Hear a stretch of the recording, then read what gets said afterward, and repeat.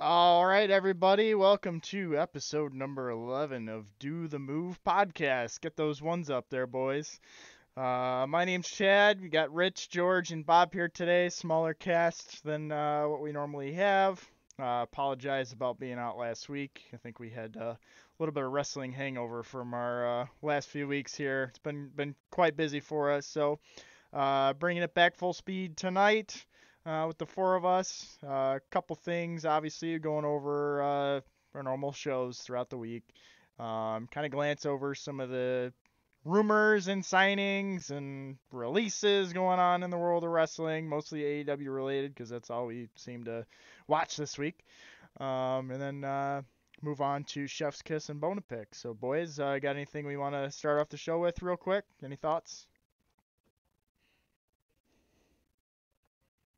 Guess we can go to WWE and get that out the way.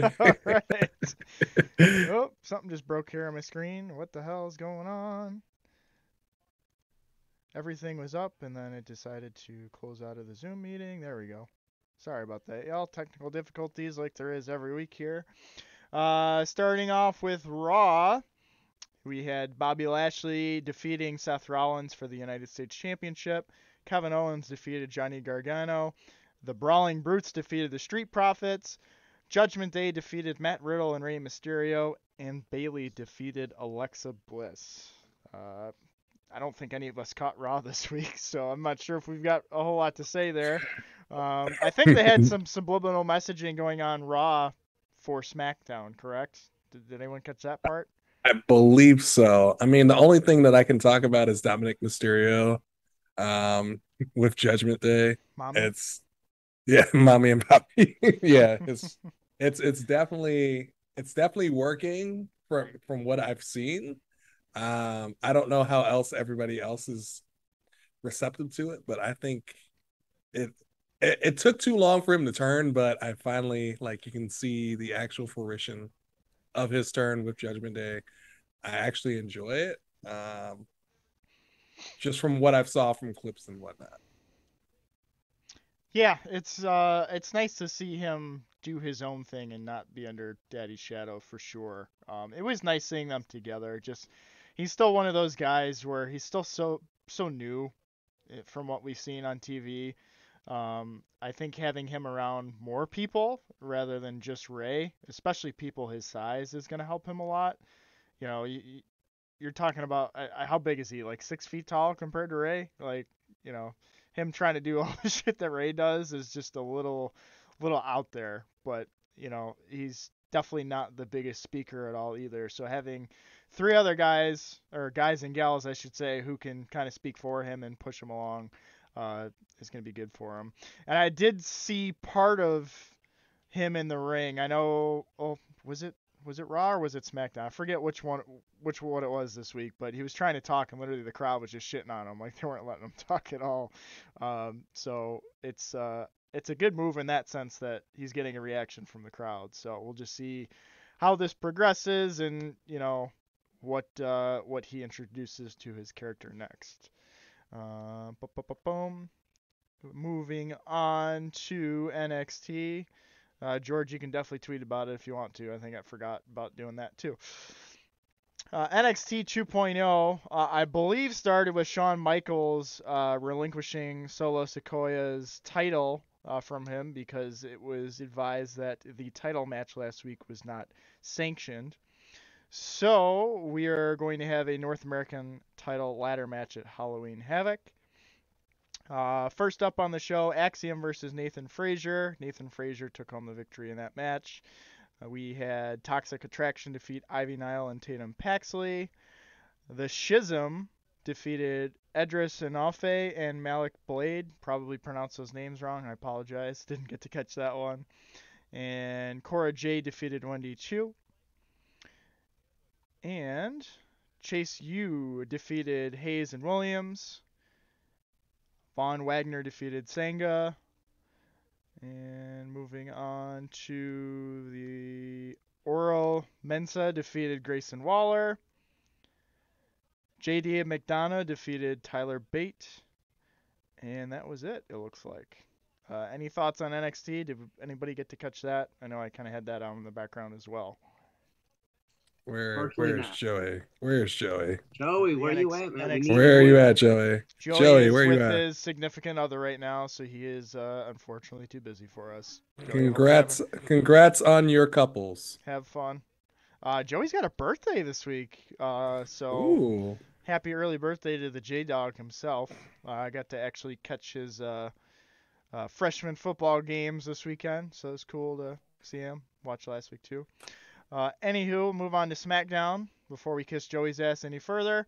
Um, so we had some more subliminal messaging going on here. Now, and I'm going to kind of get into this before we go over the card because a lot of thoughts are Bray Wyatt is going to be coming back. That's the big rumor right now um, with this whole bunny thing that uh, you know is being shown if you do the little QR code and whatnot. Um, kind of, it's interesting. It's something different. I don't think any promotion's done anything like this before in that sort of sense with the messaging, but um, they've been playing White Rabbit by Jefferson Airplane in live arenas. Um, White Rabbit on Monday Night Raw as well. Uh, there was a, a, cryptic Hangman puzzle as well. Haha, Hangman. Um, so, but we'll uh, we'll dive into the card before you can go further into that. Uh, Liv Morgan defeated Lacey Evans. The New Day defeated Maximum Male Models. Braun Strowman defeated Otis. Raquel Rodriguez defeated Dakota Kai. And the Usos retained against the Brawling Brutes. Uh, thoughts, gentlemen? Shout out to Sami Zayn. 100%. You start out the the the night with the bloodline. They come out like Sami Zayn just makes it's it's funny, but he makes it not corny. Um, like honestly. And then when he's like before all the bloodlines like about to leave, Sami Zayn takes the mic. It's like, excuse me, I, I just want to make sure that you know I, I say my two cents. And and then Roman's like, What are you doing here, man? Who are you? Take off that shirt that says Who Bloodline. are you? Do you even go here? I, I, I think it was Jay that actually ripped off uh, Sami mm-hmm. Zayn's um, t-shirt and then and then just presents him the Honorary Uce uh, t-shirt, and you can just see how elated Sami Zayn is just to be a part of the bloodline as an honorary. He's like, man, am I gonna get my ass beat right now by no, four it... guys? Four guys. I was like, what? But Roman legit said that he likes him, so it's it, it's great. Uh, it's it's some of the best work that I've seen. It's hilarious, but it just fits this dynamic. Uh, go ahead, George. Uh, well, I was going to say, moving away from the Roman Reigns stuff, I did want to touch on that White Rabbit situation because I have heard uh, some rumblings about that. While while most of the stuff does seem to point to Bray, um, there is a small contingent that says this might actually have something to do with Karrion Kross. Um, because there was a time on the Indies when he was wrestling under the name of the White Rabbit. Um, so it could very well be something to do with him um, as opposed to bringing back Bray. Um, there was also a, a, big fan thing going on where Bray could make a, could, could could come back, but also ha- bring um, guys like Karrion Kross, Dexter Lumis, um, Scarlett, all part all all as members of representing the various puppets in the Firefly Funhouse, um, which would be pretty interesting. And you know, I'm not sure if if that's a way they want to do it, Um, because um, I'm not sure how big on WWE is for factions, but you know, we'll see what happens. Um, that's really the only thing I've heard. Other than that, yeah, I saw the Sami Zayn thing. It got a huge pop from the crowd. Um, I think it's only going to last until they get through Survivor Series slash War Games, whatever they want to do with it. Yeah, I was going to bring up both of those. Uh, items that you had talked about regarding the whole White Rabbit thing. Um, it would be interesting if they do make his return with a stable. You know, I don't know who they'd really rival. I guess, yeah, if he wants to go for the title, then you know going against the Bloodline would make sense. But um, I'm still curious to see where they push. Uh, uh, what you call it? We're just fucking talking about them. I forgot. Uh, Dominik and and all of them. Like, what's their purpose? You know, are they Judgment Day? Judgment Day. are they just trolling Rey Mysterio like their entire run? Like, what's what's their uh, ultimate uh, end game here? Um, well, so, who who would be a part of Bray's like faction? If if you look well, at like uh, George said, it'd be Karrion Kross, Scarlett. Sure. Um, uh, Dexter Lumis, I heard was was or people are saying Dexter Lumis, um, and I and there was somebody else, and I can't remember offhand who it is, um, but it it was Braun. a pretty. I think it was Braun. Might have been Braun. Um, which that's a whole nother thing that I wanted to bring up actually, because um, there's a picture circulating around now of a reunited Bray, Braun, and Eric Rowan. Um, and uh, basically just getting together to, um, you know, you know, as friends, you know, as what they are. Um, and obviously, then the missing member of that was the late great Brodie Lee, uh, formerly Luke Harper in WWE. Um, but if they decided to bring back the Wyatt family like that, I, I don't know if you'd want to put Braun in there. It wouldn't make sense. He's just too big of a get at this point. But I could also see a returning Eric Rowan, who would make sense. Yeah, I don't know. I feel like if they go back to the Wyatt family, it, it just backtracks on everything that Bray has already done. I think you have to go back to the Fiend character in some sort of sense. I feel like if he just comes back as himself, it's kind of a waste. Now I know it wasn't Triple H's deal, and you know I think Triple H is real big on on those guys in particular, but I don't know. It's just one of those things. I I just hope if he does come back, it is a solid enough run where, yes, it's a great idea the entire run. They don't start off on a high note and they just shit the bed as like the weeks and months progress because that fiend character was fucking awesome for like the first year and then it just it got real ugly, like super ugly. I I don't want it to be embarrassing for Bray again because this would be what gimmick number four for him, right? So, Bobby, go ahead. Um, since we're on the Bray to- uh, topic here, um, I I don't see him going back to being a Wyatt member or Wyatt family guy. I don't see him going back as being. I see this being completely new. Him just um, bringing something new to the table, um, bringing a new character.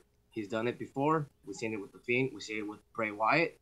Um, when he first started off, he started off as um, Husky Harris, as an NXT guy, uh, part of the new Nexus. So I, I, see him bringing this whole White Rabbit as a new character for us, and um, I'm interested to see where because it's gonna be Bray. It has to be Bray. The, the signs are point. I also don't see this being a stable like you guys have been. I've seen the rumors too. I've, I've seen Braun, Eric Rowan, and, and the names you guys mentioned, Karrion Kross. I, I saw that too, and doesn't really make sense right now. Um, it looks like they're keeping Lumis on Raw with the whole Miz. Karrion has this thing going on with Drew McIntyre.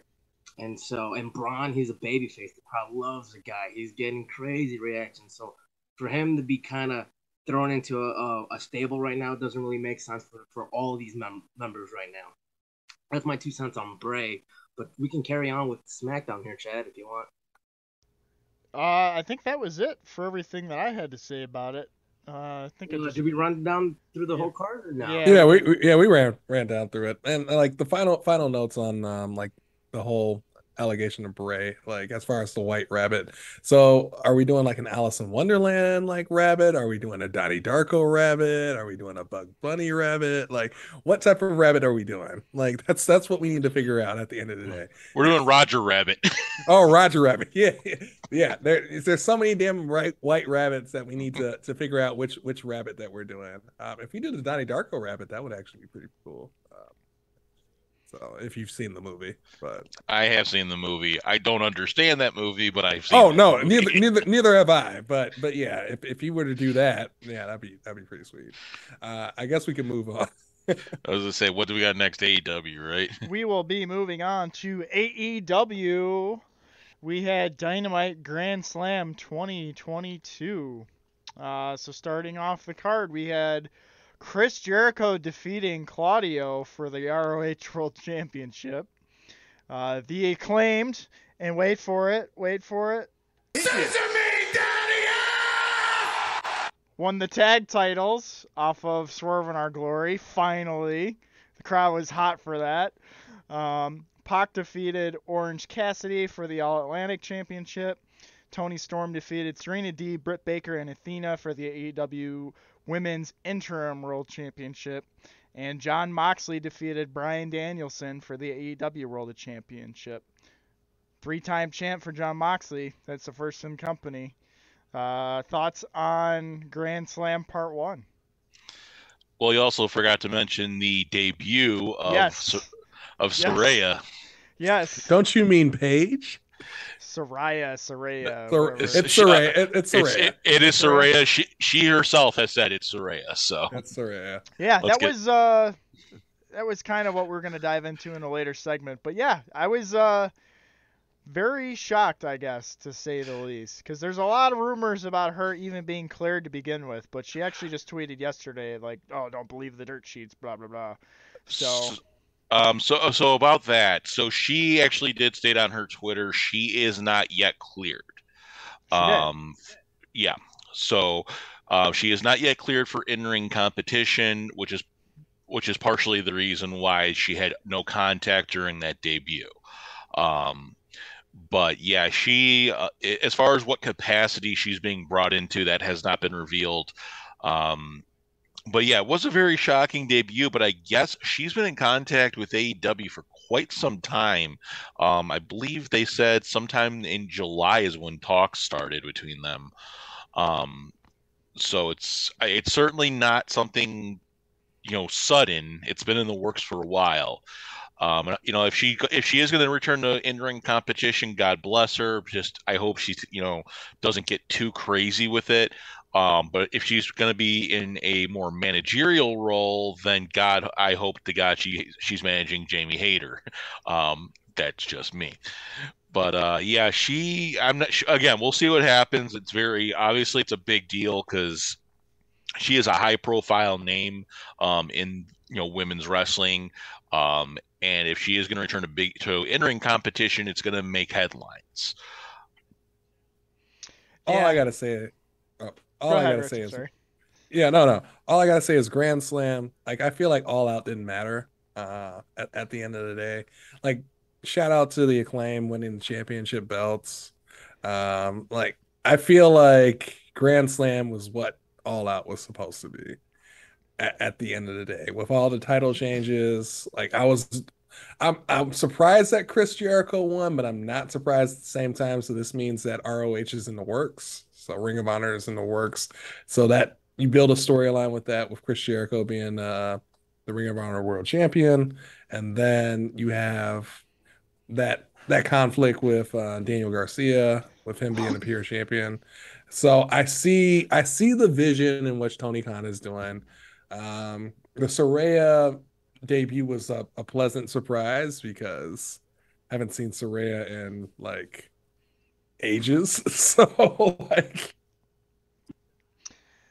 I, I I'm pleasantly surprised. And then I guess the championship with with Jon Moxley and and Bryan Danielson. I really thought that Bryan Danielson was going to be, win the, the the title, but apparently AEW has other things. They wanted to see Jon Moxley, and I was pleasantly surprised on that. I I don't know. I I, I I'm I like Jon Moxley, but for for this, I really thought that this was Bryan Danielson's time.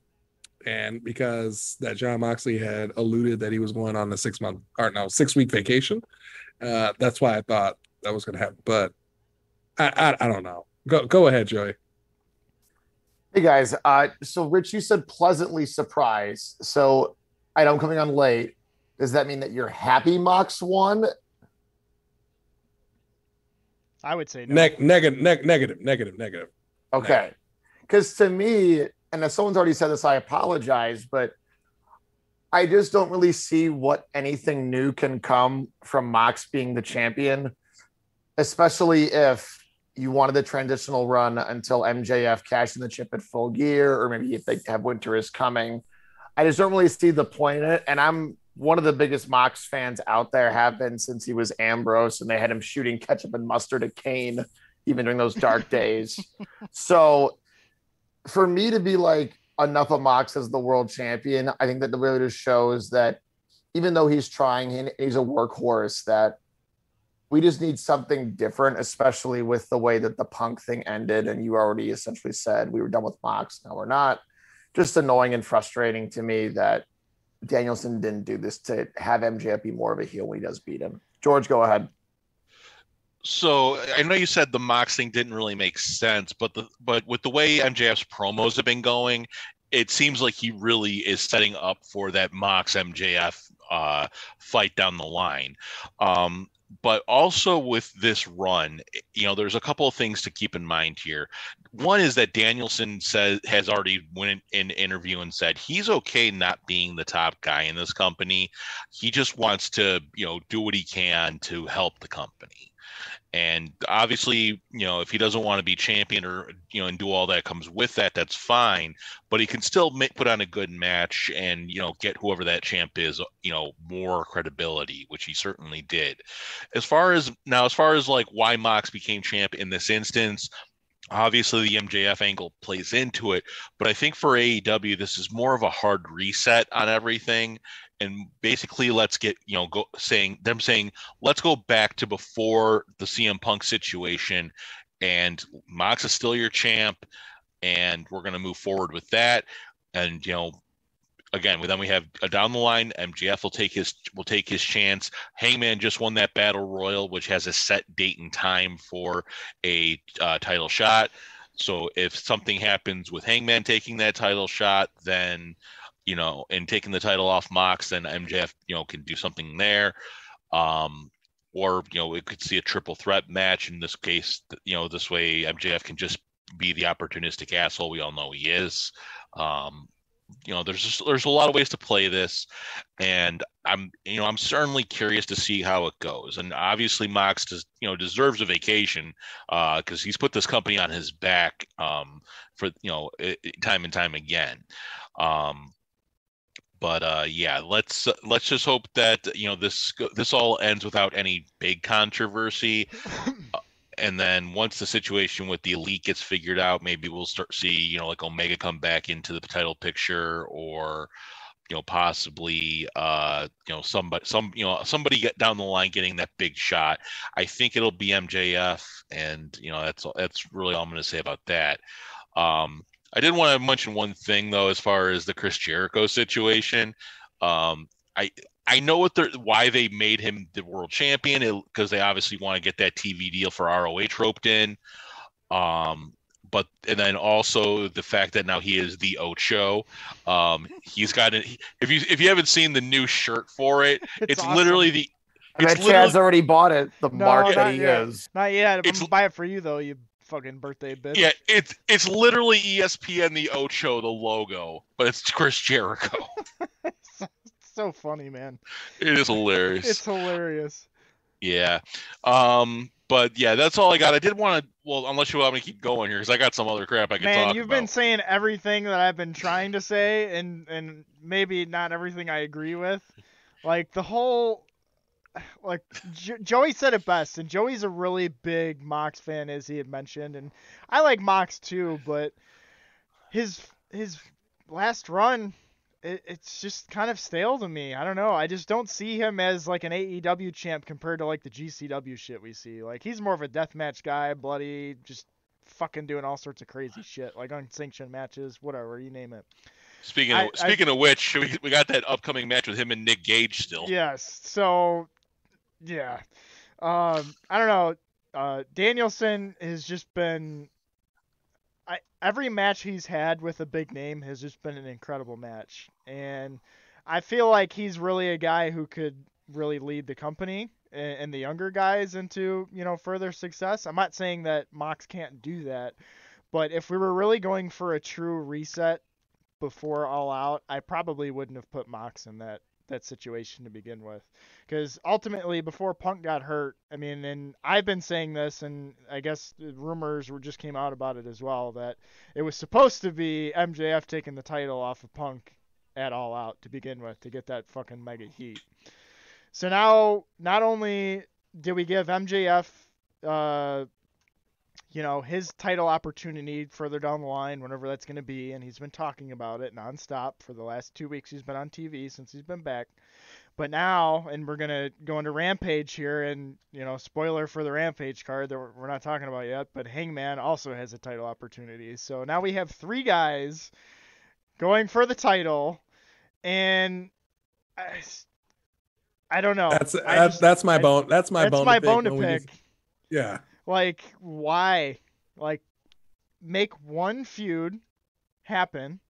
You know, if it's gonna be MJF and Mox, make it MJF and Mox. Instead, we're gonna probably get Hangman and Mox, which we haven't had yet, so I'll give them that.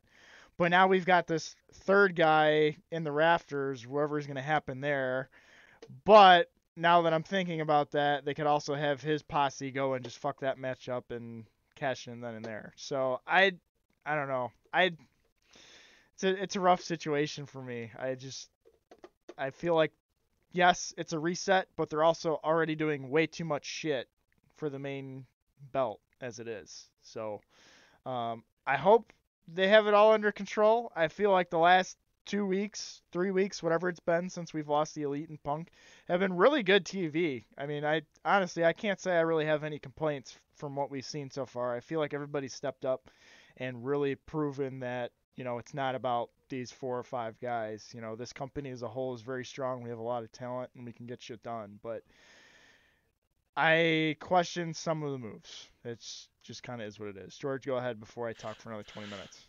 No, it's fine. I just wanted to clear, clarify something as far as the MJF situation is concerned. So the whole thing with the uh, uh, the poker chip thing, the cash in, um, it is not for a then and there match, um, like the Money in the Bank cash in is. Got to sign a contract, and Tony Khan's got to approve it, right? Yeah, it's it's it's basically when it, when MJF wants the match, he can then cash in and it goes in proper, you know, contract signings, and then the match happens. So there's no surprise cash in. But, but the way it's gonna fucking play out, and I know it, it's gonna be exactly like the Money in the Bank type shit. Oh well, fucking Tony Khan signed this ten minutes ago. I give me my match. Like they could just do that. Like it could just happen at any time. I, I don't. Like. I it. I don't think AEW will do that. However, I think what what might happen is MJF will set it up for the you know he'll set it up so that you know Mox has his match with Hangman, and then on the same night, MJF is you know or setting up for that same night, MJF will have a second match with a beaten down winner of that of the first match. So that I th- so whoever win you know so it'll basically be whoever wins the title on the first match is pulling double duty. So I think that's how MJF takes advantage of it, and of course, then he'll get you know the firm involved and uh, go from there. Here's a quick uh, thought: Have we had a, a triple threat match for the World Championship yet? Um. Yes, we have. We have. We have. It was Omega. It, it was Omega. It was Pac, and it was um. Orange, Orange Cassidy. Yeah, that's right. That's right. Oh yeah. fuck, that's a bummer. Oh, they could do it again and make it better. Uh, don't get me wrong. The Omega the Omega Pac OC match was really good. It was good. Yeah. No, I yes. I completely I completely it, forgot about that. It was yeah. it was a pandemic era match, so that's why I kind of yeah. you know flew under the radar. Um, but uh, if uh, should we go through the rest of the Rampage card because I don't yeah. think we did. Yeah, let's go through Rampage real quick now that we've spoiled uh, three quarters of it. Um, I have to scroll through everything here, but it was pretty uh, pretty predictable, I would say. Um, so we had uh, Darby Allin and Sting defeat the House of Black. Um, we had the Great Muta appear uh, with the save on Sting, which allowed them to uh, to win that match. We had Hook and Action Bronson defeat the JAS, Angelo Parker and Matt Menard. We had Wardlow and Samoa Joe defeat Josh Woods and Tony Nese and Jungle Boy defeated Rey Fenix in their match uh, and got stomped by Luchasaurus post match. And this was an interesting match. Uh, Eddie Kingston defeated Sammy Guevara via submission, but didn't release the hold, and they ended up reversing the call and giving Sammy the win. This one, that finish kind of pissed me off, and we can talk about it more after I finish the rest of the card. But they had like 15 guys in the ring, like pretending to not know what to do to get Eddie Kingston off of Sammy. like, what the, they were all just standing there until he stopped. It's really random. Um, uh, George, go ahead. I'm sorry. Oh no, uh, finish up and then I come back to me. I want to, yeah, because I want to go off. um, the TBS title match, Jade Cargill obviously retained there against Diamante uh, with Trina, and Trina turned heel at the end of that match. That was pretty funny. Um, and we finally get to the Grand Slam Golden Ticket Battle Royale, as we had just talked about. Hangman um, was one of the final two with Rush. Um, they had exchanged some blows on the uh, apron, and then uh, Hangman finally uh, eliminated him. So.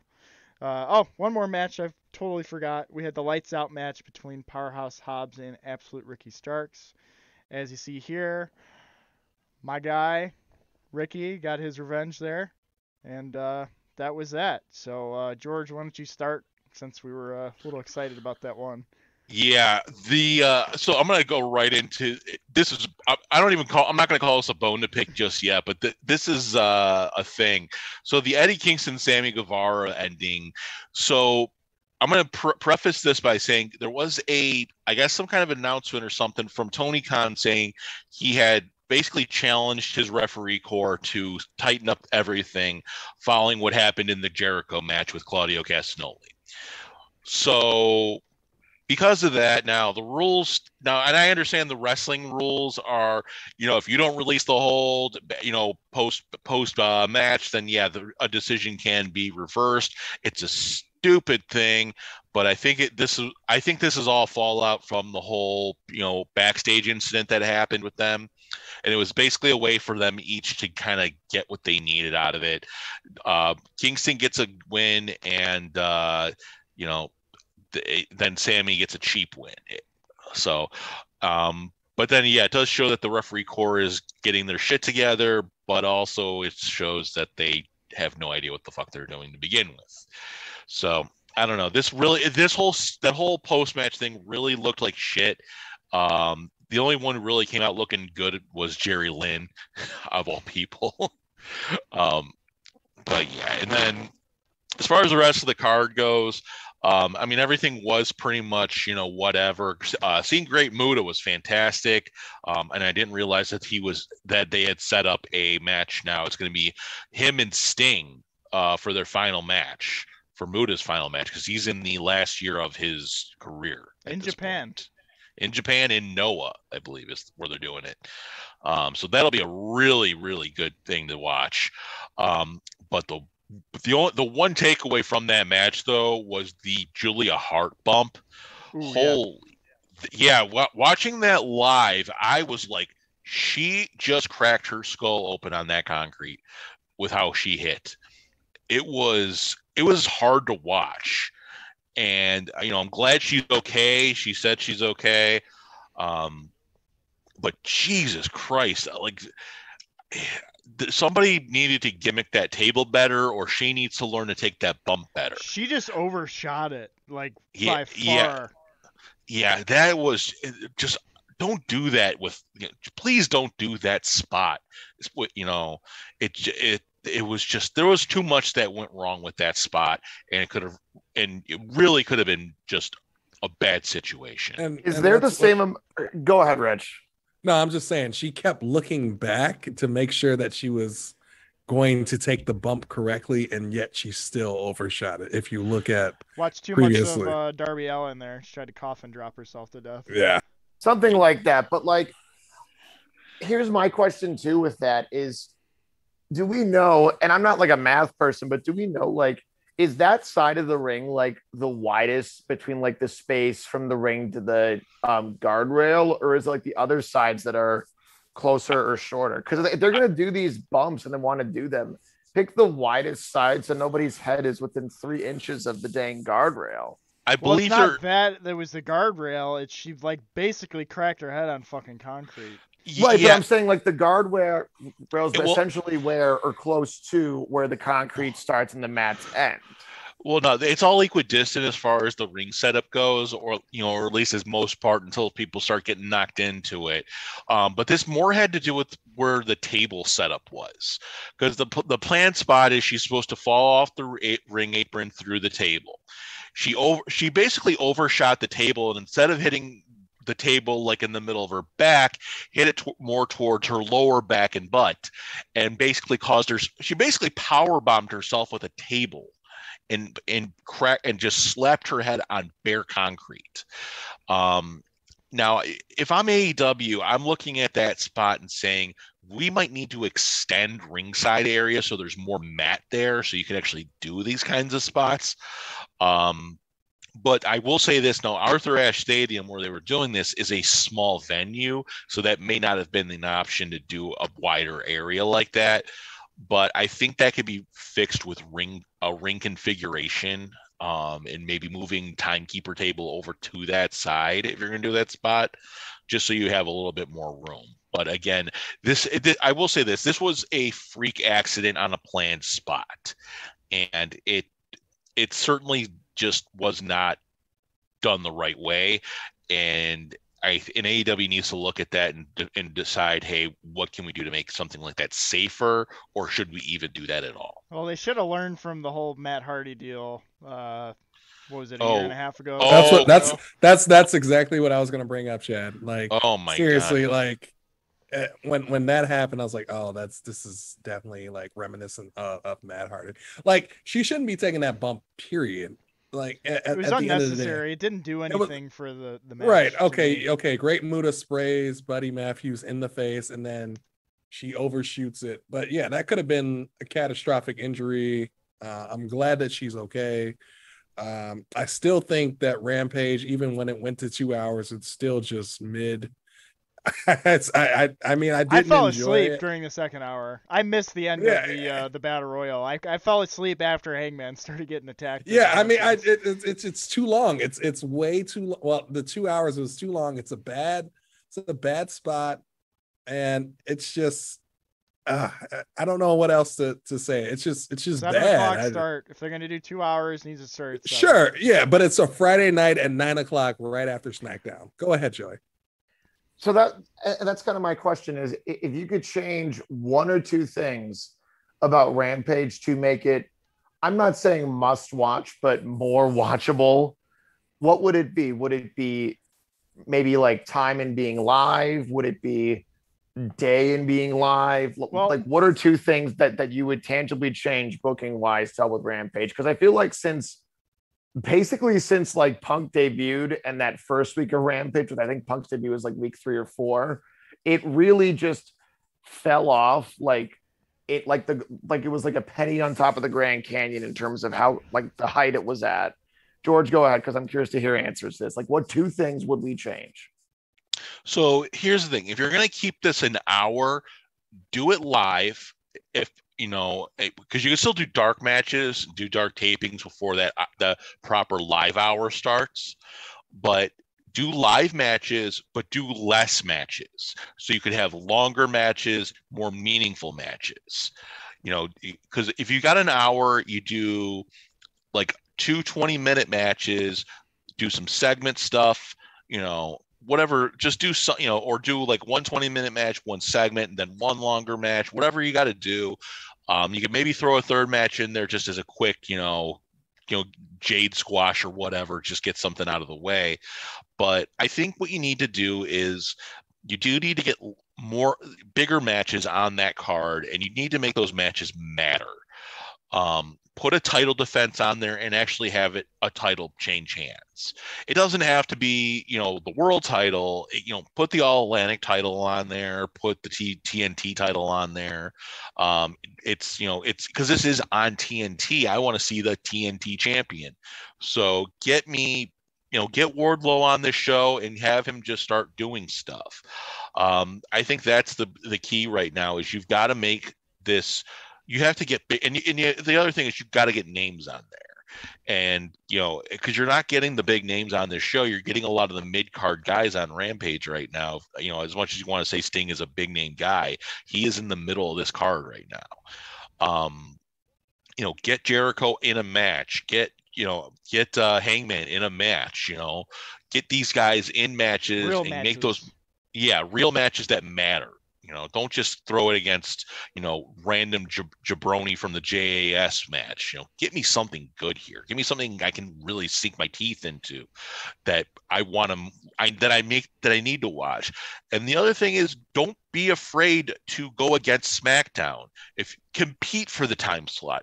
If you're gonna, you want to keep keep this at an hour, that's fine. If you want to go two, but I think you need two hours for Rampage personally but make that first hour matter and then make it go directly against the last hour SmackDown and put your best foot forward, put that big match on, and make people have to choose.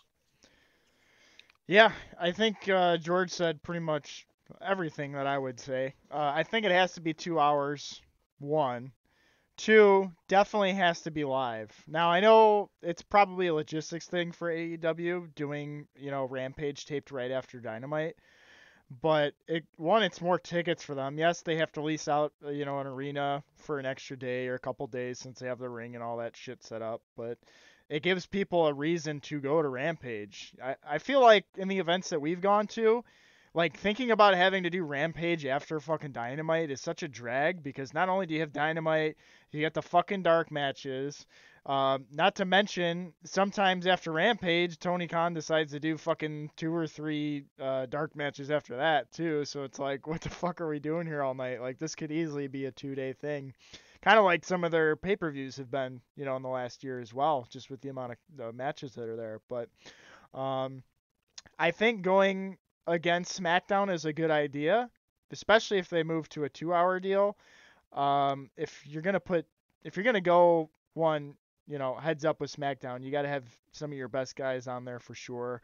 Um, I do like that they have uh, kind of switched it up and put, you know, maybe not as much known guys on there. Um, I do like that Angela Parker and Matt Menard have kind of been getting a little push because they're fucking hilarious, and I think they're they're pretty decent workers as it is. But um, definitely the TNT title needs to be defended on on Rampage. That's where it debuted, right? You know that was the whole purpose of that. Um, you've got to got to do regular defenses on that. It doesn't have to be every week. If it's every other week, you know I'm cool with that. Um, the All Atlantic Championship, you can throw that on there. Um, the uh, women's secondary belt. I mean, you know, I feel like this should have at least one title defense every show. If there's enough titles to go around now. Fucking put it on a show and defend it. If it doesn't change hands, so be it. But at least do that. I mean, make some worthy content, you know, on there. So, uh, George, you wanted to add something else? Yeah, I just wanted to uh, tack on. You said you meant you brought the logistics thing, and I understand that. Yeah, it might be a lot. It might be tough to do a shorter show. Uh, you know, the way they've got it spaced out like this. So the so here's the thing: if you want to do live, but you have to take logistics into account, maybe do back to back nights. You do your you do Wednesday, you still Thursday? yeah do Wednesday Thursday. You, this Or way Tuesday, you Wednesday as well. You could do that. uh Tuesday's Tuesday's a dead day, um, as far as I'm concerned. The only, th- th- I mean, the only it's the only issue with like Tuesday, thir- Tuesday or Thursday. So Tuesday's typically a dead day during the week for anything, and Thursday you you have to go up against Thursday night football right now. That so there's the so that's like one of the big issues. Um, but you, you could also move uh you could move dynamite around a little bit and then maybe do friday saturday. Put dynamite on friday and then rampage on saturday. But do it back to back. You stay in the same city for two nights. Let people come. You announce and then just this way you can also get more big stars you know because now you have a set place you're doing this. You know you're not you're they don't have to work double duty on one night and put in a half-assed match later in the night I, I think my concern with doing it on a Saturday is, you know, with Tony being so open with guys doing like other shows, AAA shows, whatever you want to call them, indie shows.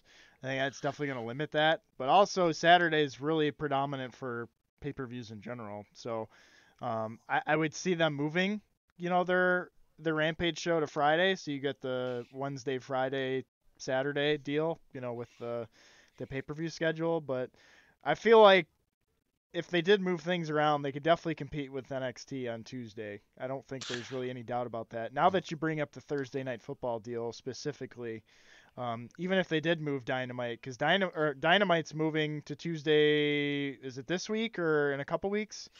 Uh, I think, yeah, I think it's, yeah, it's either... due to basketball uh, NBA. Yeah, it's NBA almost October so, when the season starts. So I mean, if you're gonna be fucking having to move time slots around for basketball in general, why not put it on a night you're not going to have to move anything regardless?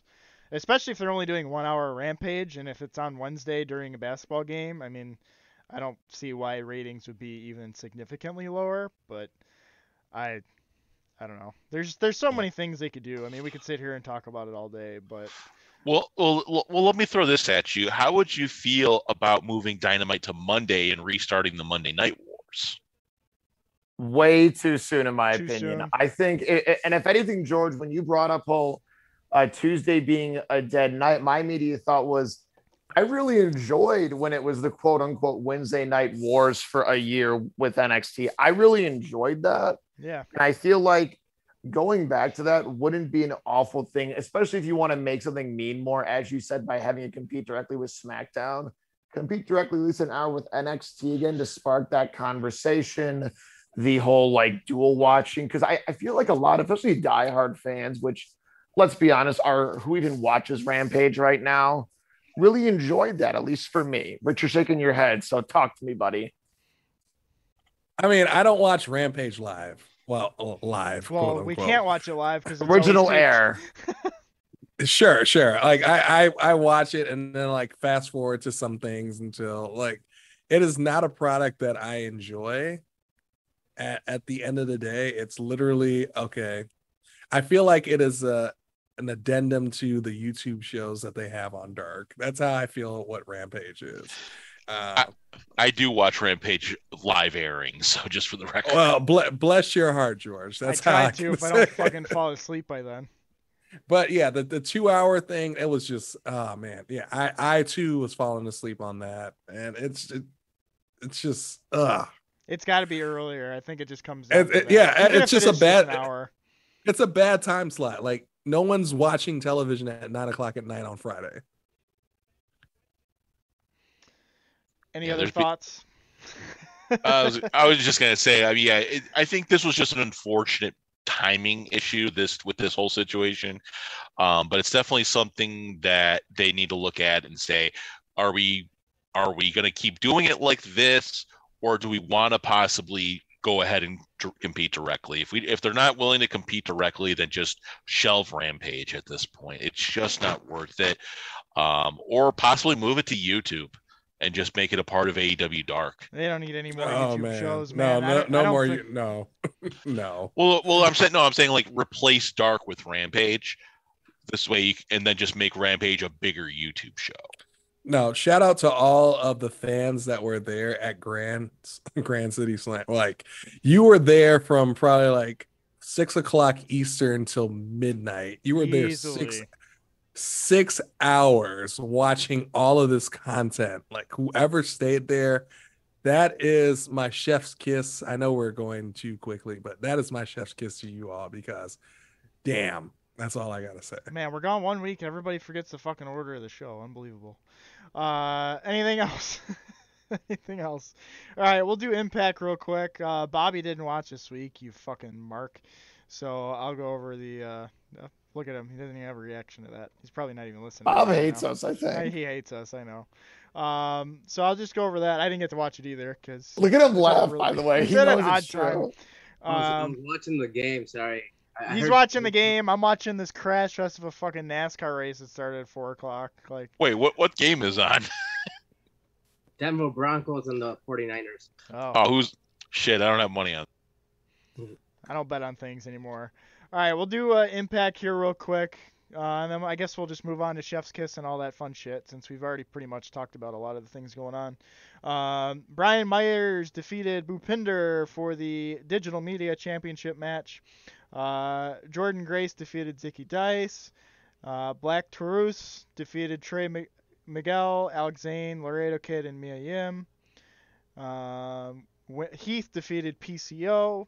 We had a number one contenders match, uh, Aussie Open versus Motor City Machine Guns. Motor City Machine Guns won that match. And then we had a contract signing um, in which Sami uh, Callihan signed a contract in blood um, for the match at uh, the Barbed Wire Massacre. Uh, Bobby, you got any thoughts on that? Since you're the uh, Impact guy here. I did not watch Impact, but I did catch Victory Road, some of it, before I fell asleep. But um, it was an all right show. From what I saw, again, I was very tired, so I didn't really catch much of it. Um, I guess uh, match of the night on that show probably would have been that uh, triple threat revolver. Had like nine people in the match. Uh, Frankie Kazarian won it. Uh, so AEW will be representing um, at Bound for Glory in a couple weeks, and then um, thought the main event, uh, Barbed Wire Massacre, um, it was all right. It wasn't it wasn't like the the other Barbed Wire Massacre matches. Um, the ropes weren't covered in barbed wire. Um, they half-ass covered them. It, it, looked very cheap, but I'm not gonna discount what the three opponents or the three men that did in the in the ring. Uh, Moose, uh, Steve Maclin, and um, Sami Callihan. Um, uh, they did well. It was a decent hardcore match, but sorry guys, I didn't. I'm tired. I, I got back to work this week and they've been kicking my ass. So shout out to Bobby Fish on Victory Road. Oh, who? Yeah, no, nobody cares about it. What a fucking scrub. Nobody cares about. I, oh, I would die for Triple H shows up on Impact. Get fucked. Just, just like I said earlier, how I'm a very big fan of Mox. I was keyword past tense here. Was a big Bobby Fish fan in Ring of Honor. That guy, mm. I don't know like if he just ran out of Just for Men and his hair just went all gray and then he just flipped out and had a midlife crisis. But dude, that guy went off the rails. I don't like the whole conspiracy about him trying to get people to like leave and go back to NXT or WWE. I don't get what the heck happened to that guy. Um, all I got to say is good riddance. And I never imagined myself saying that about him because I really enjoyed him. And to see him just have that happen, there was a hilarious picture I sent to the group chat about him, his fake phone or Triple H's phone being flooded with text from Bobby being like, Boss, you there, man? Adam and uh, Roddy are, or was it Adam and Kyle are out, but I'm in if you need me. I'm ready to fly back, please, boss. Cracking me up. So Bobby Fish figure out whatever you need to get to calm you down. Like have a Snickers, dude. That's all uh, I gotta you say. can't even see it on my phone, but yeah. Have a Snickers. You're not you when you when you're hungry, Bobby. You're waiting for Triple H. Thirsty for Triple H, bro. Hey, hey, you said nobody cares about Bobby Fish. Abe Lincoln cared about Bobby Fish. Fuck Bobby Fish. Uh, yeah, for, for real though. No, for for real though, the Bobby Fish situation is fucked up. Um, Bobby Fish, Bobby Fish, Bobby Sushi, Bobby Fish. Mm, no, eh, well, I want because for those who don't know, because we'll let's touch on this real quick here because we got the time. This was part of our uh, next segment as well, so. Well, I'll just get into it, I guess. Yeah, but, go into it. Yeah, so so the thing with Bobby Fish here is he left so he basically chose not to re-sign his contract with AEW. That was per- his decision, not AEW's. Um, supposedly, the reason he left was because the the Young Bucks refused to put over Red Dragon. That and then now with Kyle O'Reilly dealing with some sort of injury, I believe it's a neck injury with Kyle. He's going to be out for quite some time, so there really wasn't much for Red Dragon to do. And Bobby Fish is not going to go on a, any huge singles run, so he so he leaves and you know decides I'll go back to I'll try to go back to WWE. WWE doesn't want him because for what you know obviously there's nothing for him and you know he's not young he's 45 if i'm not mistaken um and basically just you know and then from what I'm understanding, he did try to convince Adam Cole and Bobby and uh, Kyle O'Reilly to come back with him, but they either them or somebody else in the locker room went to Tony Khan about the whole situation and basically said, "Yeah, this is we we're staying here. We're happy in AEW."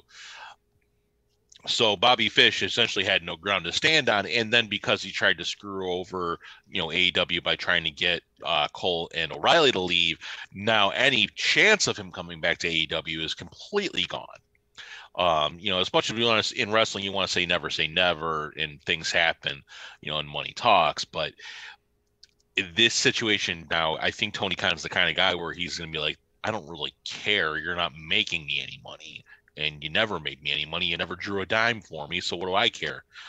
So I don't think so. Bobby Fish, I think, shot himself in the foot here, and then when WWE didn't want him, it's well, who does want me? And you know, it's you didn't have a lot of options left. You had Impact, you had the NWA, or you know, Japan. You want to go to Japan, but uh, again, it's there wasn't a lot of places he was going to end up that would still that would take a 45 year old broken down wrestler, and yeah, it's it sucks.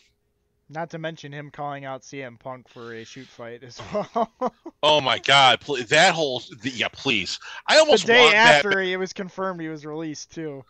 I I almost want that match to happen just for it to happen because it would that would be a pay per view draw. Someone book you know whoever books that would be you know would make some bank, you know. But again, it's it, it what because we don't know what the whole situation with Punk is. He'll, you know, if he needs a dime, he'll do that match. But you know, who knows what's going on. He's got Mindy's Bakery on speed dial for to be a part owner, so he he'll he'll be okay with money, I think. Yeah, I'm sure. and then then his wife bit like makes comics, right? So like, uh, yeah, I was gonna say, well, he makes comics. I she I think wrote a book. Um, I don't. I honestly crazy is my superpower for talking about a- a- AJ Lee. I, I think it was yeah. a bestseller or did pretty pretty well critically.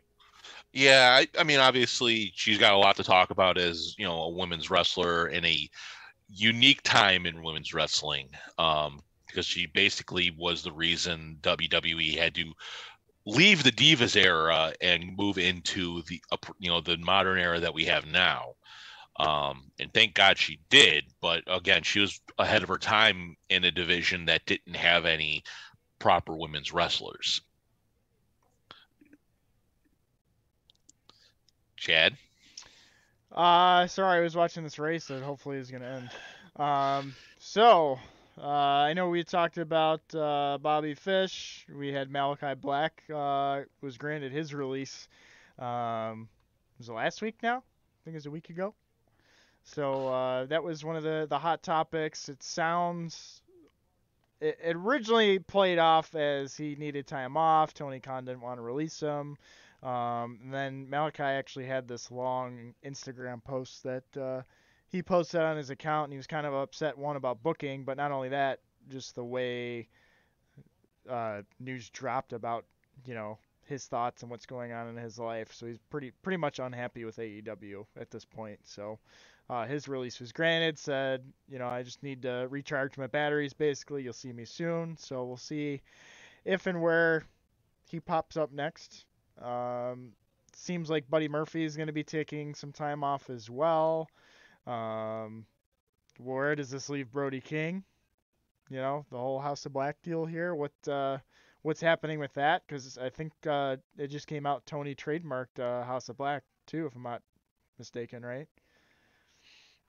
So that's happening. Obviously, we got into Soraya. Um, Lots of weird. Soraya, Saraya. Saraya. Whatever, dude. Same shit. It's the same. She put it on her Twitter. Whatever. Okay. I'm just trying to help her out. Okay. All right, That's Saraya. A... My bad. It's not the first time. You're you're you're, you're okay. You're okay. You you pronounced um, my name wrong. Okay. All right, Dick Wallace. I'm just saying. I'm just kidding. that would be a great rapper name, honestly. Dick Wallace. Oh, How? Fuck. All right, we're How? Dick Wallace and Bobby Aparicio. what? Don't put Bobby in this. Bob doesn't give a fuck about anything going on right now. He's watching football. He doesn't give a shit. Uh, all right. Any other thoughts? Anything else you wanted to add here, real quick? All right, let's move into Chef's Kiss. Oh, sorry, hold on. Oh, you fucking got me last minute. Go ahead. Sorry, I was choking on a fucking cupcake. from Mindy's Bakery? I, no, from Aldi. um, I was gonna say the uh, so I have other than the uh, request for releases that we know about the situation with Buddy Murphy and now the potential, you know, trademarking of the House of Black name and all everything around these, you know, signings and releases. Um, it does seem that there are some unconfirmed rumors of other wrestlers within AEW asking for release. Um, for obviously for for you know for various reasons, you know, TV time, um, uh, money, you know, just general unhappiness, what have you. But I think that underlies a bigger problem with AEW right now, and it's something I really wanted to talk to you guys about. Um, what is what do you feel is the issue keeping you know AEW from you know from featuring most of these talents that are unhappy? Um, or what is you know something that AEW can do to help keep these talents happy?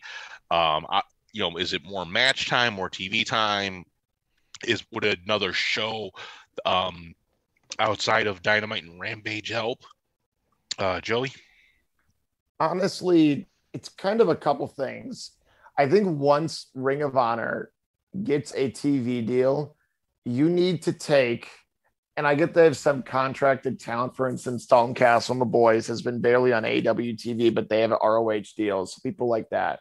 I guess people already signed specifically for ROH, but you need to take, and I'm being dead serious here, a quarter of the talent signed under AEW contract and make them just ROH once ROH gets a show whether that shows an hour, whether it's 90 minutes or two hours. You need to thin that roster a little bit. And if you want to have some crossover, fine. But they're either going to be in ROH or AW. Some crossover maybe, or like when a feud ends, you could go back to AW. I don't know. That's the biggest thing I think is time, yes, but also just honest communication to be like, hey, we're going to feature you heavily at first, and then we'll see what happens with the crowd and your reactions. Because I think one of the best examples of this, of someone being debuted pretty well and getting a good, crowd reaction, and now is barely featured at all, is Ruby Soho, who I know a lot of us like.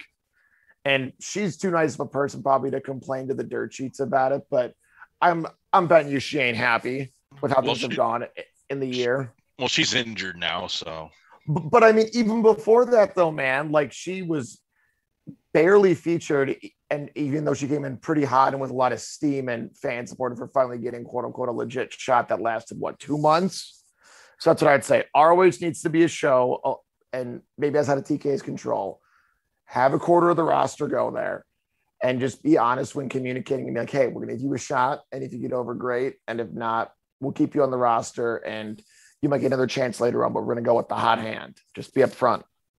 Well, here's the thing like, if you don't have an ROH deal for whatever reason, it's not beyond you to just make another show or to make Rampage bigger, like we said. Do before. they, but do they have the, the, the TV time to do that though? Because I feel like the next TV time you get should be for ROH. That's just my opinion because the oh, sparseness of, of these belts being defended it's really not it's it's losing all the steam and optimism people had from their pay-per-view a few months ago. Well yeah i mean i'm not disagreeing with you in any sense. Something needs to be done with the roh brand. And if and again if if you want to replace rampage with roh the cha- you know the you know and do that that's i i would support that if you want to at least get roh a youtube show for now until you can make things happen down the line do that but you got to start featuring these ROH talents. You can't just let them go off and do whatever, bring them in for like a battle royal one off and then forget about them. You know, and again, I want ROH to succeed. I want because I, I want AEW and ROH to be important in the wrestling world. And I think they need to be important. But right now they're not important. And it sucks. there's a whole lot. Yeah. There's a whole lot going on with like the the Warner NBC studio, like the whole shift and we don't even know what what that's going to look like in the next couple years. Yeah, the Warner Discovery that's, possible merger. Yeah, yeah, the mergers. Yeah, so we was, we don't even we don't even know what's going to look. I would say who's buying them? Is it Disney? No, it's no, no, it's, it's not Disney. Uh, Discovery. Well, the Warner is Discovery already. Uh, yeah, so it's it's NBC, any NBC, NBC Universal, yeah. Universal. Okay. Oh, so that would mean okay. that would that would mean that Triple H would be like working with Tony Khan. So that is the the interesting conundrum that we have um, for the future of wrestling, because what does that look like in the future? Like one of them, well, if you have two entities of wrestling, one of them has to like, yeah, well, I, I, don't know. Well, I know McMahon T- pulling strings in the background all along. Yeah. Well, I know TK has said that he'd be open to collabing with WWE. So I, whether or not WWE would ever do that is no. another story. But I know, but if no, but, but but could you imagine? You know, I can't. I can't genuinely imagine. I, I can't. I can't see that in in any any multiverse, universe, whatever verse. Mickie James doing the the Rumble spot, which was Impact to be fair, and they've played nice a couple times for minor things with Impact. I think is the closest thing we would ever get to a quote unquote forbidden door with AEW, especially with like just the, I, I don't know, like it the, feels like there's heat, obviously. Whereas Impact, it's like, oh, we pity Impact. We'll throw them a bone every once in a while. Yeah, I mean, I'm not going to lie. Impact is really the redhead stepchild of the wrestling world right now.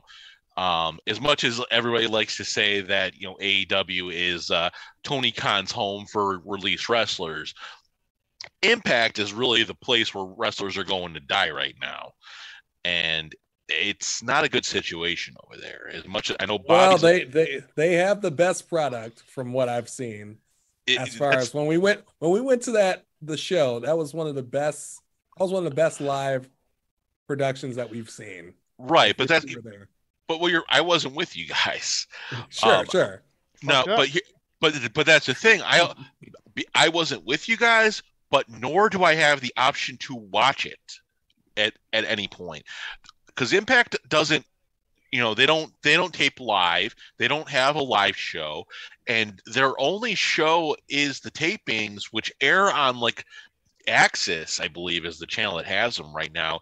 And to get access is, is another tier up on my cable plan, I believe. Same. I got Jonathan's login, so but I I yeah. watched once.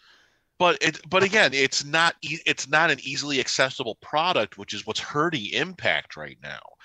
So if Impact wants to be a major player like they think they are, they need to get an actual TV deal. And the problem is there's not a lot of mainstream networks that are going to pick them up um, just because of how not just because it's impact, but because wrestling in general isn't the biggest ratings draw like it used to be. You know, this isn't the 80s and 90s where you were pulling million the millions and millions of people watching.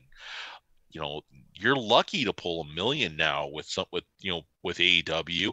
Two million is a hard thing to get in WWE. What the hell is Impact could possible pull? You know, you you would be pulling rampage numbers at best with Impact. A couple hundred thousand probably. And that's not enough to to justify it, it, you know, having its own show on a major cable network. It'd be like once every two weeks, if that, if that's yeah, an option. Yeah, uh, the, like the only thing I could compare comparatively say would be like you have to do with and i'm gonna this is a throwback i'm about to say if you guys even remember this is what mtv used to do with wrestling society x. And you know ha- tape a whole season and then put it up uh, as a weekly you know. But that's again that's something impact has to has to do. They need to start trying to negotiate to a better network a more accessible network. It doesn't have to, it may not be a big network but if you can at least get on a easily accessible network impact get, can at least try to grow and then be in that conversation later on when they want to move to a better network. So again so again that's that's all impact stuff. I'm not i'm not up on whatever happens with Impact, and I can't be. Even if I wanted to be, I couldn't be unless you know unless there's somebody uploading like you know videos on YouTube of it or something. But again, not an easily accessible product hurts the product. And you know that's what I worry about is going to happen with ROH. Going back to that, is when Tony Khan gets this sorted out. If he doesn't get ROH on a major network or at least you know, an accessible network, it's got to go to you know YouTube where it can be accessed, or you know if they or if they do push some sort of streaming platform. I don't know. Does Turner have one, or will they have one? Can it's you get it on be, that? Uh, whatever HBO and Discovery merges into. Yeah, that and that. right. Which so sucks because so... HBO Max is super badass. Like it's one of the much easier uh, platforms right now to really stream anything on because you can actually fucking see what you're looking at. It's not cluttered. Well, you know, here, well, here's an idea, and I and I'll throw this one out there as because hell, we're streaming on it. What if they went to Twitch? Impact Didn't they do that? that? Yeah, Impact I was gonna say, and they got banned no. a couple of times, I think. Uh, well, well, it was for RVD and his uh his girl. I remember in a hot yeah. tub that got him banned. well, yeah, but but here's the thing: you can potentially go to Twitch with you know ROH. Um, just you know. I think they're better off on YouTube, if I'm being completely honest with you. Just the things that Twitch has been doing lately, and uh, yeah, I mean, yeah, I'm not. Yeah, I know we're not going to get into that. We're not going to get into that, but yeah. But uh, but you know, we're streaming we, we love right we now. love Twitch. We love Twitch. Let me just preference that. We love Twitch. Praise, praise daddy or mommy, whatever the name of Twitch Twitch founder is, right, Rich? Yeah. Uh, thank, thank you, Twitch. Uh, uh, well, yeah. Say there's Bob, a founder, say thank you, Twitch. There, there's a founder of Twitch, and then there's who owns Twitch. Daddy and the Twitch? guy, uh, yeah, the guy who owns Twitch is uh, Jeff Bezos. so. Bobby, please thank Jeff, Jeff Bezos. Thank you, Daddy Bezos. I ain't saying. Yes, scissor. scissor yeah, yeah. All scissor. Right, Bob, things are gonna get bad. Fuck them kids is what he said. Scissor me, Daddy Bezos. um, hey, George, real quick, man. I'm just gonna say, man, Impact. They have a YouTube channel and they do upload segments. A lot. The they upload a lot, uh, yeah. They and, sure, they sure as hell don't promote it it's if you subscribe to the channel, they do. I do get the They promote their stuff on Instagram a lot. That's about the only place I see it. I don't really see it on Twitter. Yeah, that's the problem. You got to be on Twitter these days if you want somebody to see shit. Because I'm not going to no Instagram. All right, but are you on YouTube though? I go on YouTube, but I never get recommended wrestling content. I mean, all you have to do is type in Impact Wrestling. if you're if you're curious on what's on the product, it's on well, there. Well, let me ask you this, Bob: Are they uploading just clips and segments, or are they uploading no, matches I'm, and shows? I'm looking at it right now, and they got a full full matches from from Impact. Aussie Open versus Motor City Machine Guns. They got Keith versus PCO in a street fight, and it's 15 minutes. 15 minutes 11 it's full length segments here okay so but they're not uploading like the whole show it's just individual well matches. here's the thing they you since i mean youtube is big now but they got memberships and so in order for you to watch the show, you have to be a member, and and uh, they got two tiers. You got your basic tier, which is a dollar a month. Aha! If you guys don't have a, a, dollar in our in our chat, one yeah. dollar, Rich. Come on, man. Yeah, I'm getting pay, getting paywalled out here. Getting paywalled out here. But George, we got George, George slander say, in the chat right now. All right, guys. George, didn't you say AXS is another package in your in your cable base, which would be another like twenty to thirty bucks? I, I mean, I don't know. Oh, well, okay, let me let me run this back here. As much access as I have to like upper tier cable stuff and then YouTube and what have you, not all fans have that same access. All right. So you got to think about the average fan and what the average fan is willing to go to, go through to get, you know, t- you know, their content. Are they willing to get that upper tier cable package? Are they willing to go on YouTube? Are they willing to do what it takes to see it. Not everybody's as a hardcore fan as you, Bob. That's fine. That's fine. But you're Don't, complaining like, hey, they're not doing anything, and I'm like, dude, it's on their channel. It's there. We're just not looking but, for it, George. I don't have right? give me, but give me a re, give me a reason to look for it. Is what I'm saying. This is about All to right? be cut up and put on Rich, YouTube. Rich just he just told you there are, full matches, month. man. We I, went to the right. amazing show last month was that not enough for you to be like, oh, you know what, the guys went to a good show. Let me let me tune in. No. I, I, no, I don't know. I need a I need consistency. One good show does not a great product make. Nah. We had been, fun. you just don't want to watch. And I get it, it's fine. It's not for everybody. Not not everybody here watches NWA. I watch NWA. Fuck, I don't. I don't know shit about it. I the product is not good though, Bob. To be fair with NWA. No, absolutely not. But hey, it's wrestling, right? And if, I, if we're, we're, we're a wrestling podcast, I'm gonna go I, ahead and I'm, yeah. I'm I mean, I mean, listen. I I only have so much time in a week to watch anything, you know. So you got to really convince me to watch your product. And with Impact, you know, on a week to week basis, I don't know if there's enough there to keep me interested. That's why I don't really seek it out. Yeah, you can have that one great match every once in a while, and maybe I'll go check out that clip at some point. But do I really want to get invested in the product if you're not putting it out on a consistent basis or don't have the ability to put it out on a consistent basis? You know, that's, I mean, that's part of the reason ROH kind of fell apart at the, you know, in its initial uh, uh, incarnation is because they couldn't consistently put out a product that everybody wanted to see on a weekly basis you know, and that's why their TV deal never took off because, you know.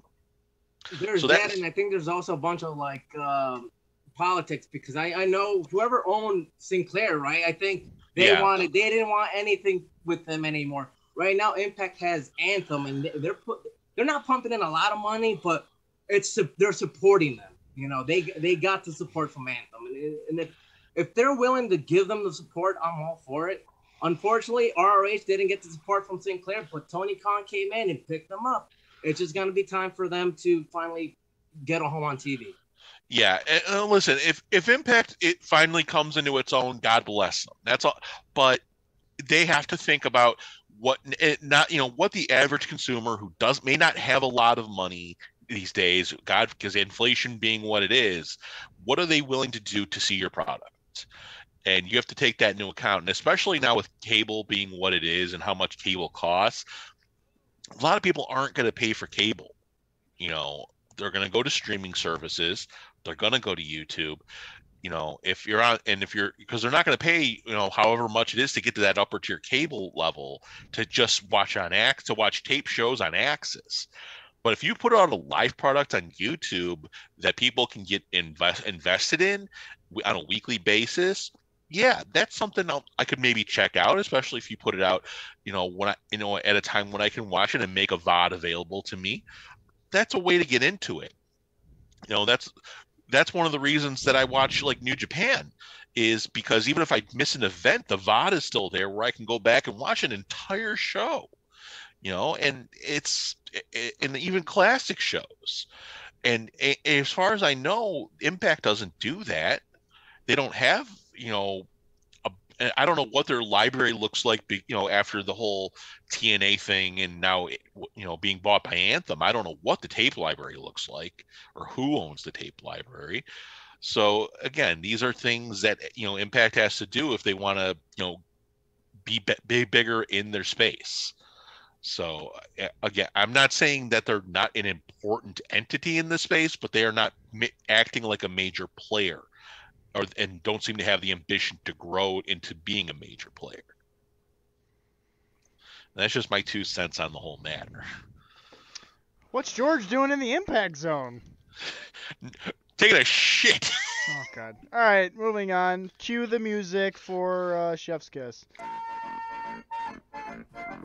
Hello, Chef Bob. How are you, sir? It's another day, Joe. It's another. I didn't day. even give you the cue, and you fucking interrupted me again. You fucking idiots. Go ahead. Some rude customers as always, Bob. I apologize on their behalf. Uh, so, Bobby, your chef's kiss actually to continue with the impact love hate fest that we have going on here in the kitchen. Uh, Bobby, yours is about one of our favorite topics in Chef's Kiss land, and that is the fashion choices of wrestlers. So, Bobby, whose fashion do you want to support this week? My fashion taste of the week is going to come from Sami Callihan. The reason why is Joey, man. I mean, you and me were both pretty fans of this one certain wrestler that he, he cosplayed of. Indeed. And so he cosplayed as Mick Foley slash Cactus Jackie. He was rocking the flannel. He had the the wanted shirt. And so Sammy was he was he was Cactus Jack for the night. And again, this was because he was in this barbed wire massacre match. And again, Mick Foley Cactus Jack is synonymous for these kind of matches. So it was fitting for Sami to come out there and pay tribute to Mick Foley. And it was nice seeing him out there in the outfit. He rocked it. He looked good in it, you know. And I have the same outfit too. So yeah, and to be fair, Bob, this was also during that three-way barbed wire or attempted barbed wire match. You said that that Impact had as yeah, well. Correct.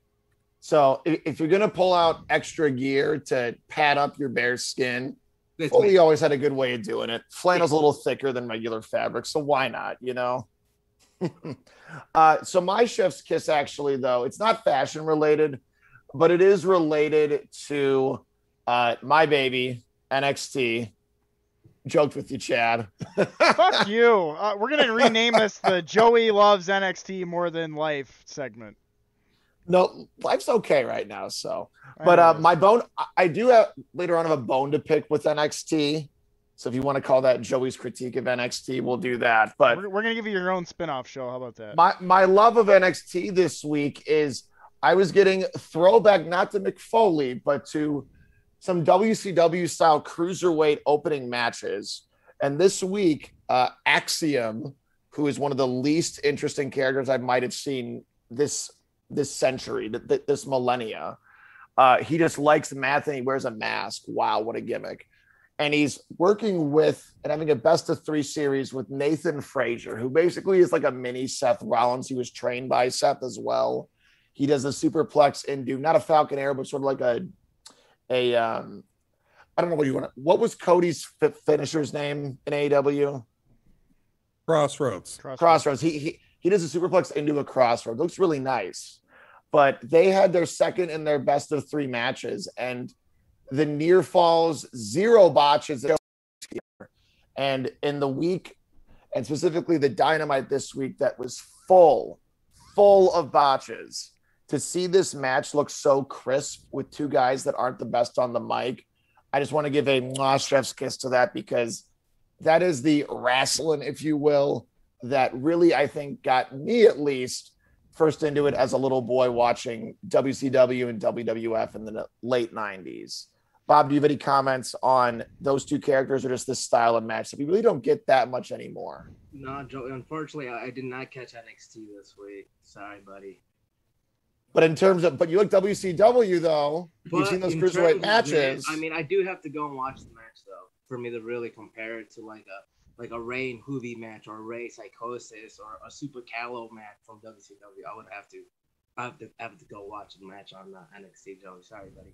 That's so cool. I'm Bob. I'm trying to keep you involved. My my sous chef, my co-chef. You, you liked those matches in the '90s, though, correct? I did. I absolutely did. That's how you started off hot in the '90s man. throw on a cruiserweight match, and, and Eric Bischoff and WCW Nitro did it well every Monday. And it really was a way to break up what what, what often was a silly WTF promo fest that Nitro was for the oh, three yeah. hours that it used to yeah, be. Yeah, no, we complain about the opening segments nowadays. WCW was doing it 20 years ago too. yeah. Chad, is this in relation to our chef's kisses so far, or yes. is it your own before our combo? Uh, no, I just wanted to add that Axiom is like the shittiest name because it's unoriginal and it's literally a fucking extended warranty company for vehicles. So, just I mean, Fandango was a movie reviewer, movie ticket company. That was too. pretty good career out of it. That was to too. Fair. That was too. I'm still gonna talk shit about it though because that's in my line of work. So. All right. Well, mini bone to pick from uh, not, Chad. Not a bone to pick. Just eating his chicken bones. Just get a fucking new name. It's just all I'm gonna say. I doubt they will. No, but uh, Bobby, our combo is in relation to what our combo was in the previous show about the usage of hip hop and R and B rap stars. Indeed. Specifically, man. the past two weeks, Action Bronson. Bob, what was your opinion on how they used Action Bronson in the video montage last week and the match this week? Great. I thought the video montage was great, and what he did in the ring. Granted, it wasn't much, but it was it was good. It was for what he needed to do. Not everybody needs to go in there and do hurricanranas, jump off the top. Canadian rope. destroyers. Like, dude, that's that's not necessary for every celebrity wrestler. Action knew his role and he played the part well. He played the power man um, gimmick well. He power slammed um, Angelo, right? Or Ma- or Daddy Magic. It was one of them. And and, and here's the thing too, Bob. Those were the right guys to have in this match. I I, I truly think mm-hmm. in the last year and a half, they've been the most important signing for AEW. To have them in there, they know their role, the lower mid card jabroni, wannabe henchmen, and they do it so well with their personality so to have like celebrities in there interacting with them, much like how Heath Slater would get his butt kicked by all the legends Yep. a decade ago in WWE. These two guys are able to do this so well. And it really was a breath of, ironically, as you said, Bob, fresh air to see a celebrity not trying to outperform everybody on the show by doing frog splashes or 450s. It mm-hmm. just, I know it wasn't much, but it really fit what the, the connection between he, Hook, and Taz was, and that FTW mentality. So, mwah, chef's kiss to Action Bronson. And I think he's the first wrestler in some time, at least in AEW, to sing his own entrance music on the way to the ring. I know Jericho sings Judas, but it's not live as he's walking to the ring. So Bronson, good stuff there. Anything else, Bob, before we get where you let Chad talk again if his hands up for that? Um, I mean, keeping with the music, um, they brought in Trina and she was with the baddies, um, well, turn or whatever the hell that was at the end. But hey, like again, we're, we're they're bringing in more hip hop artists. Westside Gunn was at ringside once again. Yes, he was. He was at ringside, and they also brought out DJ Whoo Kid, Whoo Kid, and um Fabolous. So hey, man, AEW keep Woo. Keep they they, they in- keep doing it though, and, and I'm so happy that we've brought this up in the past, at least two or three times on the show. Maybe not in the Chef's Kiss, but in the past couple of months. Right. Rich loves it too with his Dalton Castle boys response, and I am just thrilled and hope that this continues and continues in the right way. So that's our Chef's Kiss for this week. Anyone else have anything to add? Great. If not, I think Chad, what do we got next, good sir? Uh, well, I was gonna add my chef's kisses. For Go for it. Uh, mine was definitely. Well, I've got two. So one, uh, Sami Zayn getting his fucking T-shirt from Roman Reigns, by far, because you didn't know where that segment was gonna go, but you also know that Roman likes Sami, and you know it was like that. Oh, this is gonna take a real dark turn to. Oh, he actually loves Sami like real quick. So the shirt was really cool. Uh, seeing Jey rip off the other shirt though was really funny too, so I just want to point that out. And then um, I've got the sound clip. The acclaimed winning the uh, tag belts. Chef's kiss for me for sure. Uh, scissor me, daddy. Uh, and I just got the shirt this week too, but I decided to wear Ricky because I was excited about that too. But um, yeah, I mean, just the match it all out was fucking incredible between the two. I mean, they could have won it there. Like just the pop they they've been gotten, and they've literally gotten to this point by themselves. Like they have done it. They really haven't had much help. I know they've had uh, uh, Billy Gunn in their corner now too. That was probably the only thing I didn't like about the match was Billy uh, interjecting himself towards the finish of the match. But You do want him to scissor you, correct? yeah, absolutely, yes, I will scissor Okay, badass right. Billy Just Gunn, making sure. all Just day. making Um, but yeah, it was it was awesome. Just the pop, the crowd, they did it. Excited to see where they go. I'm hoping this isn't uh, one of those the chase is better than the reward type uh, runs that we've seen. So, mwah. anybody else? Give us a bone to pick because I have a bone. All right, pick. here, let me do the fucking title card. Where is it? Ba da ba ba, bone to pick. That's my theme song. All right, uh, Joey, go ahead. Okay. As mentioned, NXT really bothered me this week with something. Last two weeks. That's a first. Carmelo, it- it's not. Um, Carmelo Hayes, who I have praised on this show, he's been in multiple chef's kisses. Carmelo Hayes, a week ago, lost the NXT North American title. Fine, you wanted to lose the belt. That's cool. They did it in a strange way with uh, Solo Sikoa, the new member of the Bloodline in storyline. He's a real life family member too. Um, saying that he he got next was a thing for a while. So he comes in as a surprise opponent, wins the match. A week later, Shawn Michaels, good old Michael Hickenbottom, to go the shoot name route, decides to vacate the title, vacate the title and put it up in a ladder match in a grand total of six weeks at Halloween Havoc. And my thought is the, the other time Carmelo Hayes lost the belt, it was in a ladder match. They've kept this guy super strong in terms of not having him get pinned or lose cleanly. And yet, this same night, this same night that they vacate the title, what do they have Carmelo Hayes do? They have him lose via a roll up to somebody I like, but by no means should he be pinning Melo whatsoever in Andre Chase, a comedy low card character. This is one of the best booked guys in the past year. Star potential. His buddy Trick Williams has been looking great. I've even said in the group chat, hey, have Melo now either chase the world title or he and Trick win the tag titles because they had great chemistry. And this is how you follow up with this. Bad call NXT. I don't get why you wouldn't have Solo retain the belt and to just treat this North American title like this. I just, I don't want to get scared, but if this is the downward spiral that the TNT belt saw, I'm worried for this mid card title that they've done so well with up until those points. So NXT, do better with how you treat Carmelo Hayes, a legitimate star, in my opinion, in the making, and how you decide to handle title changes and traditional champions. Rich, go ahead, good sir. So my bone to pick is is there a rankings in in AEW now? Um hmm. as as far as you know the the sports let me check I guess let me check is, is there a rankings because that's my bone to pick yeah so they they do still have the rankings however they are toning it down quite a bit rankings uh, um they're, they're basically not showing the wins and losses anymore they haven't updated them since August thirty first. By the way. Sorry. Okay, so uh, August thirty first. Okay, um, and then as have... of then, CM Punk was number one contender. Hangman, Powerhouse Hobbs, Jay Lethal, Darby Allin. like okay, so now we have this golden ticket thing that that Hangman page. Granted, that's your boy Chad. Like I'm not trying to like shit on him in any single way, but are we just omitting the rankings now? Um, well, Hangman's so been rank- in the top five for quite sure, sure. No, but but no, I hear I'm you. Just, I hear you. I hear you. Yeah, just just saying. Are we just omitting the rankings in entirety? Like because, like, granted, like we can blame the the elite and CM Punk for for screwing up everything because they you know had a shoot fight, but at the end of the day, they haven't done anything since August, right? So are we doing the rankings? Like that's that's my my bone to pick. Like, are we gonna stick with the rankings? Or are we not gonna stick with the rankings? That is that is my only thing that I that I have. Um, we're we're good with with with juice, Mr. Joliet. Hopefully you you get to shine on Wednesday night Dynamite.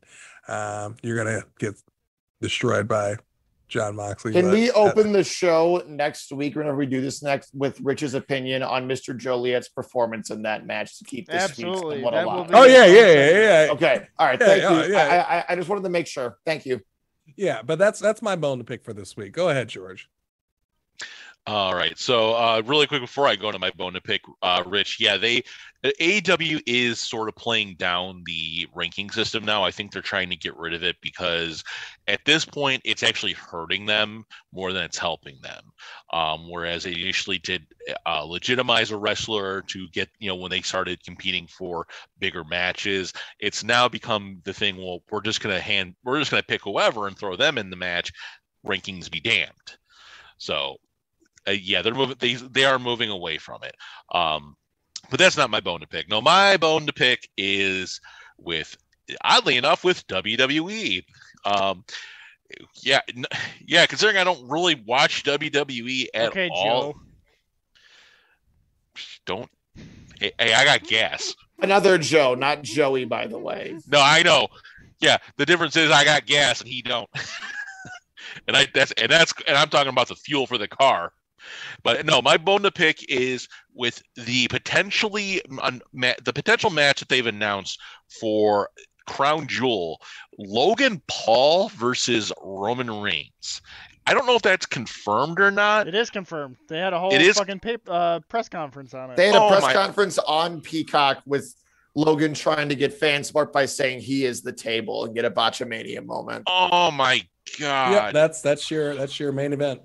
Yeah. Okay. I'm already gonna. I'm just gonna call this right now. Dumbest booking decision ever. Because no one. Here's the thing. Anybody who knows about Logan Paul pre wrestling has does not want anything to do with this guy. He he's a legitimate scumbag in all senses of the word. Eh, wrestling fans who don't know who he is only know him because of the stuff that he's done in WWE but he oh my it, it sickens me that he is getting put in this position and this might be the only time you'll ever hear me say this. I hope Roman Reigns spears him in half because I just want this guy to go away. He is not he is not a professional wrestler. He does not have any right to be in this position when there are guys who train their entire careers to be in this position who aren't seeing the light of day. And it just sucks. So yeah that's my bone to pick. Chad go ahead. Uh we've had this conversation before and it might not have been on the pod but when a celebrity can come in and have a fucking pretty banger match with a, a, a wrestler who's been doing this for quite some time, and they're doing it better than people that are in the back. That's a Dominik problem. Mysterio. Dominik Mysterio. That's a fucking problem. So I know he's a piece of shit outside of his YouTube shit and whatever. Like in real real life, he's a fucking asshole. I totally agree. But to say that he hasn't necessarily earned the spot when he signed a deal to do like three or four events, kind of pushing it.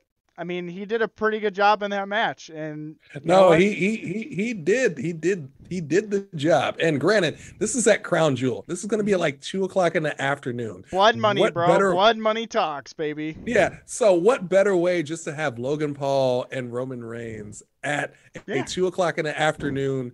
main event because no one's going to be watching this live. I like people... I will not watch this match at all in protest. This is the same guy in Joey and Joey, by the way, who refused to go to Backlash in Chicago when he found out Jinder Mahal was going to be in the main event.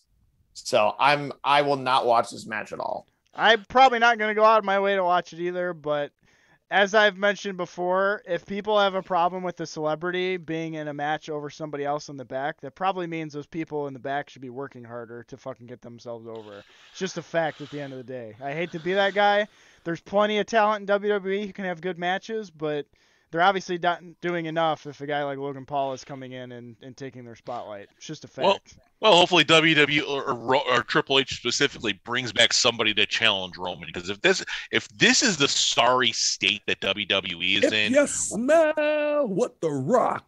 No, leave the Rock out of this. Leave the Shut Rock up, out bitch. of this.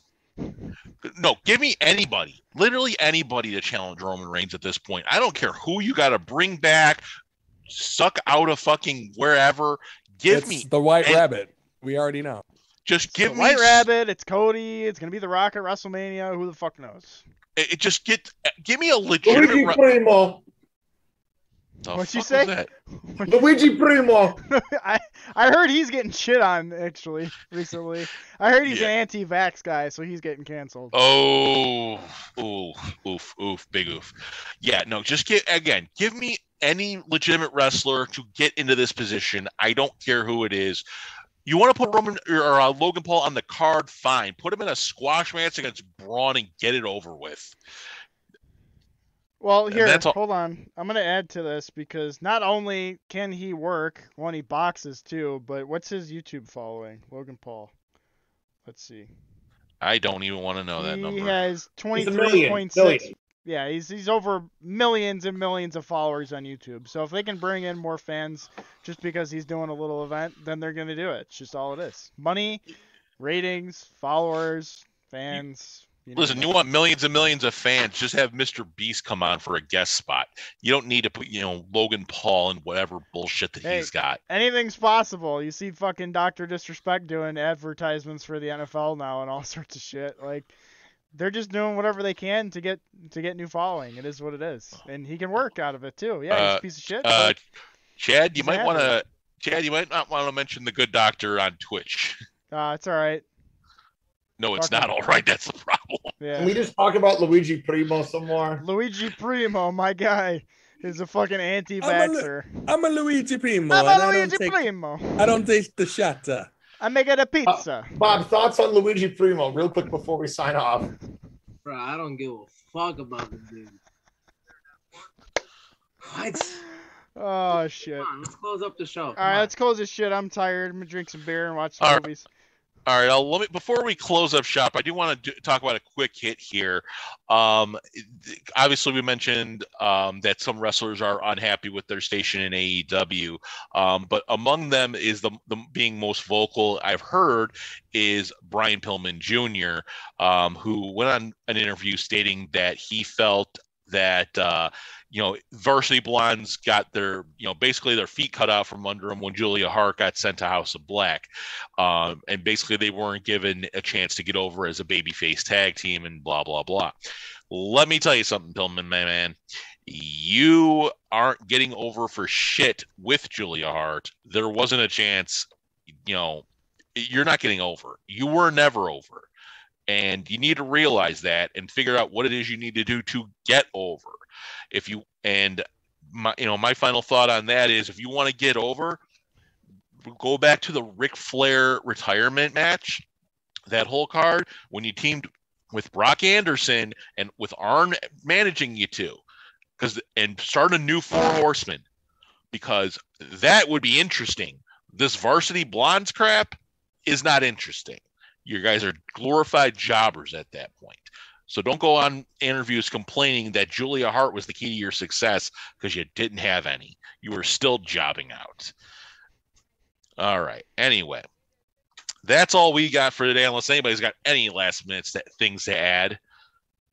Anybody? Uh, no, you'll just see the Facebook chat and see how I'm trolling you further with Logan Paul stuff. Just want to praise Luigi, Luigi Primo some more. Luigi Primo, I'm making the best of pizza. I'm making a pizza. pizza uh, he doesn't take the shot.